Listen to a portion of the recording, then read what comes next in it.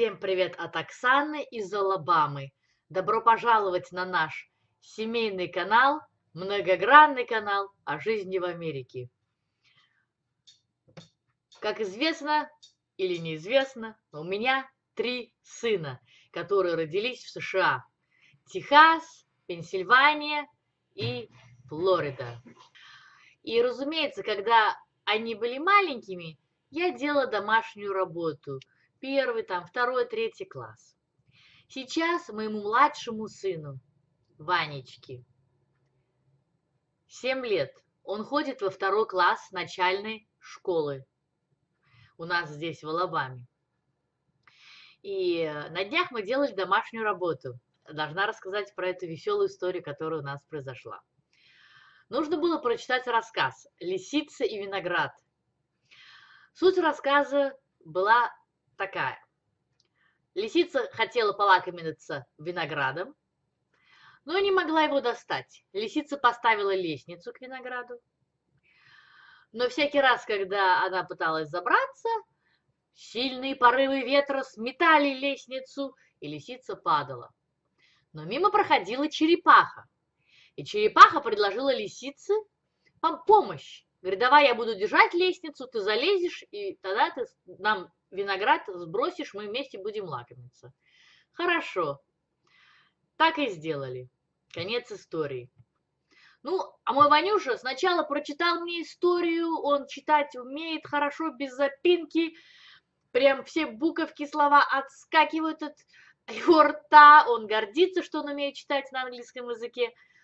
И, в общем, это его родной язык, но, в общем, теперь у него нет проблем с чтением. Мы даже раньше репетиторы нанимали, 20 долларов в час платили, потому что, ну, не мог он читать. Он смотрел, как говорится, в книгу, видел фигу.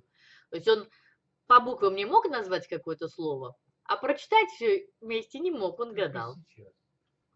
В конце этого домашнего задания были вопросы. Какие проблемы возникли у лисицы, когда она хотела достать виноград. И, в общем, так получилось, что он все мне прочитал, и вот, и говорит, мама, не помогай мне, я знаю, как ответить на первый вопрос. И написал очень аккуратно, карандашом они пишут, написал. Лисиц, проблема лисицы была в том, что она не могла достать виноград. И э, лестницу порывы ветра сбивали. Второй вопрос был такой. Как лисица решила проблему? Мне Ванечка говорит, мама, не помогай, я сам, я большой мальчик, я умный, я знаю, как делать. Говорю, ладно, все, давай, ты умный, давай, давай, самостоятельно, давай, я подожду, что ты напишешь. Он написал что-то, написал, написал, написал. Ну, говорю, ну что, теперь прочти мне слух. И Ваня мне читает. Пришла черепаха, залезла на дерево и сбросила лисице виноград. Вот что называется права русская поговорка «Смотришь в книгу, видишь фигу». Ну и в конце, как обычно, заряжаю вас на хорошее настроение. Я попросила Ванечку для вас станцевать.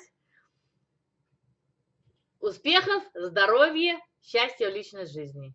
До новых встреч. Будет хорошо, все будет хорошо, все будет хорошо, я это знаю, знаю. Хорошо, все будет хорошо, ой, чувствую, я девки загуляю. Ой, за